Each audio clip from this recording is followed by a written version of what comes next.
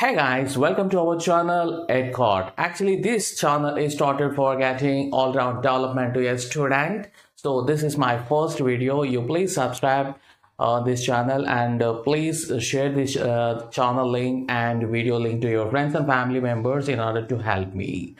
Friends మనం ఈ channel ద్వారా ఏమి ఇస్తున్నామంటే కంప్లీట్గా ఆల్రౌండ్ డెవలప్మెంట్ అండి. అంటే not only English language not only spoken English memory techniques paintings okay mathematics tricks ఏవైనా కానివ్వండి వీటిల్లో ఈ ఎడ్కాడ్ ఛానల్ ద్వారా ప్రతి ఒక్కటి మనకు ఇవ్వాలని కోరుకుంటున్నాము. సో కాబట్టి ఫస్ట్ టైం మీరు కనుక ఈ వీడియో చూస్తున్నట్లయితే సబ్స్క్రైబ్ చేసుకోండి. ఎందుకోసం అంటే ఈరోజే ఈ ఛానల్ స్టార్ట్ చేయడం జరిగింది. అండ్ మంచి గ్రోత్ ఉండాలంటే అది మీ ఆధారాభిమానాలు అనేది చాలా చాలా అనేది మాకు అవసరం అండి. సో ఈరోజు ఫస్ట్ వీడియోనే చాలా మంచి వీడియోని మేము ప్లాన్ చేస్తున్నాము మీకోసం అని చెప్పి. That is about spoken English చాలామంది అనుకుంటారు స్పోకెన్ ఇంగ్లీష్ అంటే అది చాలా పెద్ద వర్డ్ అని అనుకుంటారు. నో అండి. అసలు చాలా చిన్న వర్డ్ స్పోకెన్ ఇంగ్లీష్ చాలా చిన్న వర్క్ స్పోకెన్ ఇంగ్లీష్ చాలా easiest spoken English okay so చాలామంది స్పోకెన్ ఇంగ్లీష్ అంటే ఒక భూతం లాగా చూస్తుంటారు. కానీ స్పోకెన్ ఇంగ్లీష్ ఎంత ఈజీ అంటే అంత ఈజీ మీకు ఒక విషయం తెలుసా అండి? అకార్డింగ్ టు యర్ సర్వే ఏం తెలియజేస్తారంటే ఏదైనా ఒక లాంగ్వేజ్ నేర్చుకోవాలంటే ఒక టూ ఇయర్స్ పడుతుందండి. లైక్ తమిళ్ నేర్చుకోవాలన్నా కన్నడ నేర్చుకోవాలన్నా మలయాళం నేర్చుకోవాలన్నా మినిమం స్పీకింగ్కి ఒక టూ ఇయర్స్ పడుతుంది. ఒకటి. రెండవది మనకు ఇంగ్లీష్ విషయానికి వస్తే ఆరు నెలలే పడుతుందండి. తెలుసా? అంత ఈజీ ఇంగ్లీష్ ఎందుకు? మరి ఎందుకు సార్? అది కూడా ఒక లాంగ్వేజే కదా. మరి ఎందుకు ఇంగ్లీష్ మాట్లాడడానికి ఆరు నెలలే పడుతుందంటే వెరీ వెరీ ఈజీ అండి. మనకు తమిళ్ కానీ కన్నడ కానీ ఆ పదాలు కూడా మనకు తెలియవండి. కానీ ఇంగ్లీష్లో ఈవెన్ పక్కన వాళ్ళు మాట్లాడుతుంటే కూడా మనకు నీట్గా అర్థమవుతుంది. ఈ పదాలన్నీ తెలుసు. ఓకే గో అంటే తెలుసు కమ్ అంటే తెలుసు వాచ్ అంటే తెలుసు. అన్నీ తెలిసినటివి కాబట్టి పక్కన వాళ్ళు చెప్పినప్పుడు మాట్లాడినప్పుడు మనకు అర్థం అవుతుంది అంటే సగం లాంగ్వేజ్ వచ్చేసినట్టే అండి. అర్థమైందా? సో అందుకోసమని స్పోకెన్ ఇంగ్లీష్ అనేది ఇంకొక ఫిఫ్టీ పర్సెంట్ మాత్రమే కదా నేర్చుకోవాలి. అండ్ దట్టు పదాలు కూడా మనకు మాట్లాడేది కూడా వచ్చు కాబట్టి ఒక సిక్స్ మంత్స్లో మనం నేర్చుకోవచ్చు అని ఒక సర్వే తెలియ తెలియజేసిందండి. సో కాబట్టి ఫ్రెండ్స్ నాతో పాటు ట్రావెల్ అవ్వండి. ఒక జస్ట్ ఆరు నెలల్లో మీరు చక్కగా ఇంగ్లీష్లో మాట్లాడచ్చు. మరి ఈ చక్కగా ఇంగ్లీష్లో మాట్లాడాలంటే మేము చెప్పే టిప్స్ అండ్ ట్రిక్స్ అనేది కూడా మీరు నేర్చుకోవాల్సి ఉంటుంది. మరి అసలు ఒక లాంగ్వేజ్ ఏ విధంగా స్టార్ట్ చేస్తారు? ఎలా నేర్చుకుంటారు? అంటే వెరీ సింపుల్ అండి. మీరు చిన్న పిల్లల నుంచి చూసినట్లయితే చిన్న పిల్లలు చూడడం ద్వారా వినడం ద్వారా అబ్జర్వ్ చేస్తూ నేర్చుకుంటారు. అంతేనా? అదేవిధంగా మనం ఇంగ్లీష్ కూడా నేర్చుకోవాల్సి ఉంటుంది. అంటే ఫస్ట్ మనం చూసిన వస్తువులు ఇంగ్లీష్లో ఏమంటారు అని చెప్పి మైండ్లో పెట్టుకోండి. తర్వాత ఇంగ్లీషు మాట్లాడేటప్పుడు ఎవరైనా బాగా వినండి. లేదంటే యూట్యూబ్లో చాలా రకాల కిడ్స్ స్టోరీస్ ఉంటాయి కదండి. అవి బాగా వింటూ ఉంటే మనకు చక్కగా ఎలా మాట్లాడాలో తెలుస్తుంది. ఎందుకోసం అంటే this is the input for this output మనకి ఎంత ఇన్పుట్ ఇక్కడ ఉంటే అంత అవుట్పుట్ అక్కడ వచ్చేస్తుందండి. సో కాబట్టి ఫ్రెండ్స్ ఈ రోజు నుంచి స్టార్ట్ చేయండి. వినండి మాట్లాడండి. వినండి మాట్లాడండి. కానీ ఒక్క తప్పు మాత్రం చేయొద్దండి. అదే grammar okay? So if you start from the grammar hundred percent you will confuse ఎందుకోసం అంటే మీరు ఏ లాంగ్వేజ్ ఇంగ్లీష్ పక్కన పెడదాం. ఏ లాంగ్వేజ్ అన్నా చూసినట్లయితే తమిళ్ మీ తమిళనాడుకి వెళ్ళి నేర్చుకోవాలి అనుకుంటే తమిళ్ నేర్చుకోవాలి అంటే మీరు తమిళ్ ఆలు తమిళ్ గ్రామరు తమిళ్ ఛందస్సు ఇవన్నీ నేర్చుకొని తర్వాత తమిళ్ మాట్లాడడం మొదలు పెడతారా? నో. ఏ లాంగ్వేజ్ అయినా కానీ మొట్టమొదట గ్రామర్ యూస్ చేసి నేర్చుకోకూడదు. కానీ మనం ఏం చేస్తున్నామంటే జనరల్గా చేసే తప్పు ఏంటంటే మనం సాధారణంగా గ్రామర్తో లేకపోతే లెటర్స్ ఓకే అక్షరాలతో చిన్నప్పుడు పిల్లల్ని స్కూల్లో వేసిన వెంటనే ఏబిసిడీలు అక్కడి నుంచి పదాలు అక్కడి నుంచి వాక్యాలు అక్కడి నుంచి కనెక్ట్ చేస్తూ సెంటెన్సెస్ అదేవిధంగా గ్రామర్ టెన్స్ అని ప్రిపోజిషన్స్ అని active voice passive voice degrees of comparison parts of speech ఇలా ఒక గందరగోళాన్ని మైండ్లో అనేది క్రియేట్ చేసేస్తున్నారు. అందుకోసమని ఒక లాంగ్వేజ్ నేర్చుకోవాలంటే ఒకటే అండి మాటలు మాట్లాడితేనే వస్తాయి. ఓకేనా? ఆటలు ఆడితే వస్తాయి పాటలు పాడితే వస్తాయి మాటలు ఎస్ మాట్లాడితేనే వస్తాయి. ఎందుకోసంటే మాట్లాడితే పక్కన వాళ్ళు అర్థమవుతుంది. సో కాబట్టి వింటారు. ఎప్పుడైతే మీరు వింటారో అప్పుడు మన బ్రెయిన్లోకి ఒక ఇన్పుట్ వెళ్తుంది. అదే విధంగా మాట్లాడడం జరుగుతుంది. ఓకేనా ఫ్రెండ్స్ సో ఫ్రెండ్స్ ఈ విధంగా ఇంగ్లీష్ అనేది నేర్చుకోవాలి. నేర్చుకున్న తర్వాత మనకు మాట్లాడేది వస్తుంది. మీకు ఇంకో విషయం తెలుసా?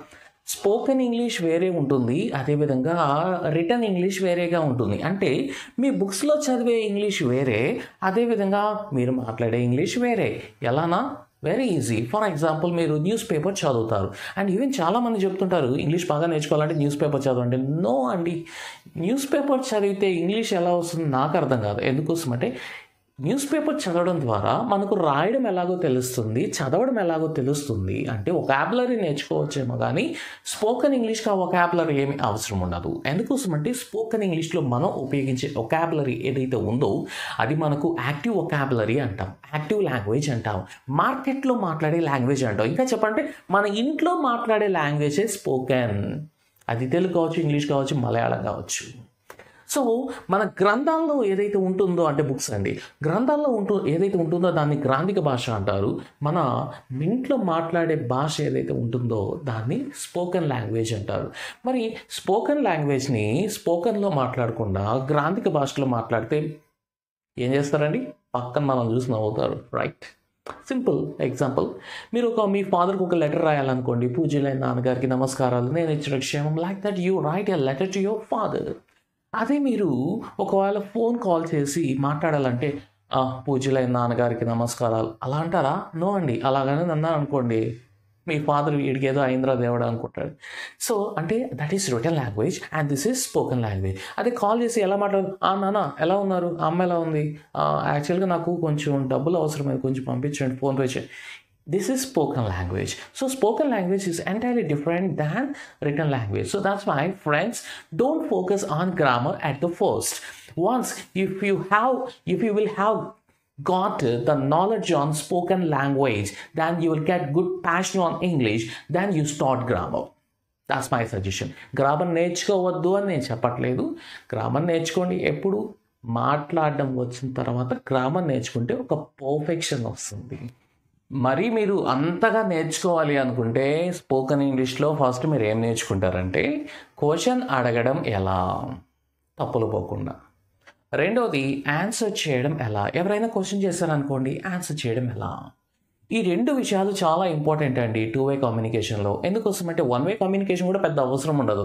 అంటే లైక్ మీ స్కూల్లో ఏదైనా స్పీచెస్ ఇవ్వడము ఇది స్పీచెస్ వరకు పనికి వస్తుంది కానీ మనకు బయట ఒక షాప్కి వెళ్ళినా ఒక ఆఫీస్కి వెళ్ళినా ఓకే ఒక ఇంటర్వ్యూలో పాల్గొన్నా ఓకే ఎవరైనా మాట్లాడుతున్నా సో ఒకరు క్వశ్చన్ చేస్తారు మరొకరు ఆన్సర్ చేస్తారు కదండి? లేదంటే వీళ్ళు క్వశ్చన్ చేస్తే వీళ్ళు ఆన్సర్ చేస్తారు. కాబట్టి how to answer to the question అని చెప్పి లేదా హౌ టు ఆస్క్ క్వశ్చన్ అని చెప్పేది మీరు కనుక నేర్చుకోగలిగితే చక్కగా మీకు ఆల్మోస్ట్ సెవెంటీ పర్సెంట్ కమ్యూనికేషన్ మీకు వచ్చేస్తుందండి అండి దానికోసమే మనకు ప్లే స్టోర్లో ఒక యాప్ కూడా ఉంది మనది.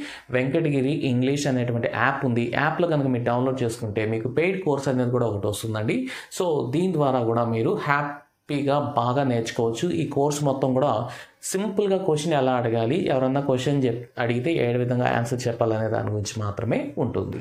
రెండోది నాకు బాగా ఇంగ్లీష్ వచ్చు కానీ నేను మాట్లాడలేకపోతాను అని చెప్పి చాలామంది అనుకుంటారండి. వాస్తవానికి ఇంగ్లీష్ వచ్చు అనేది వాళ్ళు ఎలా ఫీల్ అవుతుంటారంటే అంటే నా గ్రామర్ వచ్చి బాగా సో కాబట్టి నాకు ఇంగ్లీష్ వచ్చు అనుకుంటారు. నేను ముందే చెప్పాను కదండి గ్రామర్ వేరే అదేవిధంగా స్పోకెన్ ఇంగ్లీష్ వేరే. గ్రామర్ ఒకాబులరీ వేరే ఇంగ్లీష్ ఒకాబులరీ అంటే స్పోకెన్ ఒకాబులరీ వేరే. ఒకాబులరీ వేరే అంటే ఏం లేదండి ఒకాబులరీ ఒకటే యాక్టివ్ ఒకాబులరీ ప్యాసివ్ ఒకాబులరీ ఉంటుంది. ఫర్ ఎగ్జాంపుల్ అప్రిగేట్ అని యూస్ చేస్తాం అనుకోండి అప్రిగేటెడ్ ఎవరికీ అర్థం కాదు.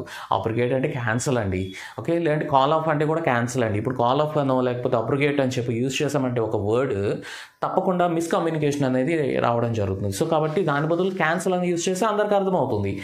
కానీ రాసేటప్పుడు క్యాన్సిల్ అంటే చాలా తక్కువ లో రేంజ్లో ఉంటుంది. ఓకే? సో రాసేటప్పుడు మాత్రం కాల్ ఆఫ్ అనో అప్రిగేట్ ఇలా మంచి మంచి పదాలు ఉపయోగించుకోవాలి. అయితే మనం మాట్లాడేటప్పుడు మాత్రం క్యాన్సిల్ అనే ఈ విధంగా మనం ఉపయోగించుకున్నట్లయితే పక్కన వాళ్ళకి చక్కగా అర్థమవుతుందండి.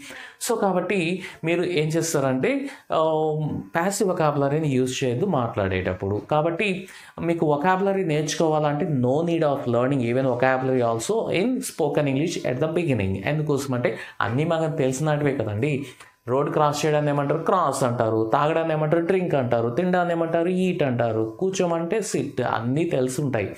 కాబట్టి మీరు మాటలు మాట్లాడితేనే వస్తాయి. మీ హార్ట్లో అందరి హార్ట్లో ఇంగ్లీష్ ఉంటుందండి. అది నోట్లోంచి రాదు. అదే ప్రాబ్లం కాబట్టి ఈ రోజు నుంచి మీరు ప్రాక్టీస్ చేసినట్లయితే అంటే ఎక్కువ వినండి. అప్పుడు మీరు మాట్లాడతారు. అంతేగాని నేను గ్రామర్ నాకు వచ్చేసు కాబట్టి నేను మాట్లాడలేకపోతున్నానంటే that is another issue so అర్థమైంది కదా ఫ్రెండ్స్ రెండవది మూడవది ఏంటంటే మనకు మా పిల్లలతో ఇంగ్లీష్లో మాట్లాడలేకపోతున్నాను. మా పిల్లలతో ఇంగ్లీష్లో ఎలా మాట్లాడాలి అని చెప్పి చాలామంది అనుకుంటుంటారు. వెరీ సింపుల్ అండి.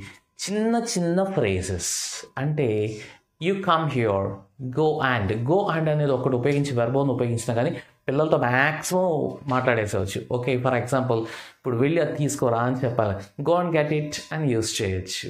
ఓకే నాకు ఒక గ్లాస్ వాటర్ తీసుకోరా అని చెప్పాలనుకోండి. Go and bring me some water okay? అక్కడ ఇది పెట్టు అంటే పుట్ దేర్ ఈ విధంగా మనకు రెగ్యులర్ యూసేజ్ సెంటెన్సెస్ పిల్లలతో మాట్లాడేటివి మనం ఫ్యూచర్లో చేయబోతున్నాం క్లాసెస్ కూడా. సో ఇలా వినడం ద్వారా కూడా చక్కగా మనకు పిల్లలతో ఈజీగా మాట్లాడేసేవచ్చండి. ఓకేనా? సో కాబట్టి ఫ్రెండ్స్ ఒక వీడియో చూసేనో లేకపోతే ఒక బుక్ చదివితేనో రాదండి. సో న్యాచురల్గా మనం తీసుకోవాలి. ఓకే దాన్ని ప్రాక్టీస్ చేయడం వల్ల మాత్రమే వస్తుంది. ఎలా అంటే మనకు దానికి ఒక ఫార్ములా కూడా నేను ఇవ్వడం జరిగింది. ఐకేహెచ్పి ఐ అంటే ఇంట్రెస్ట్ అండి. కే అంటే నాలెడ్జ్ హెచ్ uh, అంటే హాబీ పి అంటే ప్రాక్టీస్ మీరు ఇంగ్లీష్ బాగా మాట్లాడాలంటే ఫస్ట్ మీకు ఇంట్రెస్ట్ ఉండాలి. ఐ అంటే ఇంట్రెస్ట్ తర్వాత కే అంటే నాలెడ్జ్ ఎలా నాలెడ్జ్ అంటే ఏంటి అసలు ఏం మాట్లాడాలి ఎలా మాట్లాడాలి అని తెలుసుకోవడమే నాలెడ్జ్ ఓకే హెచ్ హెచ్ అంటే హాబీ అంటే పక్కన వాళ్ళతో ఏదో రకంగా మాట్లాడము అండ్ ఫ్యూచర్లో కొన్ని రీసోర్సెస్ కూడా అంటే మనకు పక్కన చుట్టుపక్కల ఎవరు లేనప్పటికీ ఎలా మాట్లాడాలి అనేది కొన్ని నా రీసోర్సెస్ కూడా మీకు ఇవ్వడం జరుగుతుంది. ఆ విధంగా మీరు డెవలప్ చేసుకోవచ్చు. And last one is P P for practice practice practice practice practice makes mans perfect అండి. సో కాబట్టి మీరు ఎంత బాగా ప్రాక్టీస్ చేస్తారో అంత బాగా పర్ఫెక్ట్ అవుతారండి. అయితే మీరు ఇక్కడ ప్రాక్టీస్ చేసేది గ్రామర్ మీద చేసి నాకు రాలేదు అనుకుంటున్నారు దాట్స్ రాంగ్ దేనికైతే ప్రాక్టీస్ చేస్తారో అది పనికి వస్తుంది మీరు హ్యాండ్తో ప్రాక్టీస్ చేస్తే మీ హ్యాండ్కి వస్తుంది మీ నోట్కి ఎలా వస్తుందండి? రైట్ సో మీ నోట్తో ప్రాక్టీస్ చేయండి. అప్పుడు వస్తుంది ఇంగ్లీష్. కాబట్టి friends all the very best and ఫ్యూచర్లో మరిన్ని వీడియోస్ స్పోకెన్ ఇంగ్లీష్ గురించి చేస్తాం. రియల్ వీడియోస్ అయి ఉంటాయి. ఏదో అట్రాక్ట్ చేసేందుకు అలా ఉండవండి. సో కాబట్టి ఫ్రెండ్స్ ఇప్పుడే మీకు కింద మీకు బటన్ కనిపిస్తుంది. సబ్స్క్రైబ్ బటన్ సబ్స్క్రైబ్ చేసుకోండి. అండ్ పక్కన బెల్ ఐకాన్ ఉంటుంది. దాన్ని క్లిక్ చేయడం ద్వారా నేను పెట్టిన వెంటనే నోటిఫికేషన్ మీకు వచ్చేస్తుందండి. Okay? So thank you thank you so much.